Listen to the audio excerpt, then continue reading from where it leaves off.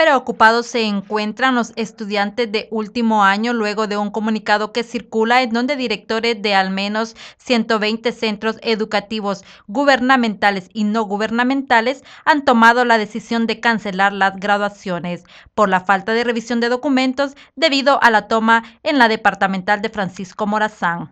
Sí, porque ya no voy a poder entrar a la universidad porque no voy a, poder, no voy a tener mi diploma en mano. Nosotros nos afecta mucho, porque ya por ejemplo hoy venimos a examen y no es justo que nos vengan a decir de que no va a haber graduación. Mientras tanto, el secretario de Educación sigue sosteniendo que los trabajos de la departamental no se han detenido. No, la, departamental está funcionando normal. Yo los tengo en mi oficina y en otras oficinas dispersos, pero no, es un problema que tienen que resolver ellos. Eh. ¿No influirá el proceso de graduación? No, para nada, para nada. Nosotros estamos listos.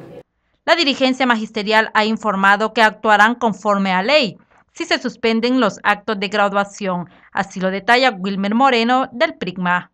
Bueno, me imagino que los padres de familia van a demandar al señor ministro. Ya nosotros como organizaciones magisteriales vamos a, demandar a las autoridades por abuso de autoridad, pues si no se gradúan estos muchachos. Sin embargo, el director departamental Napoleón Bonilla garantizó que habrá graduaciones porque no se puede jugar con la juventud del país.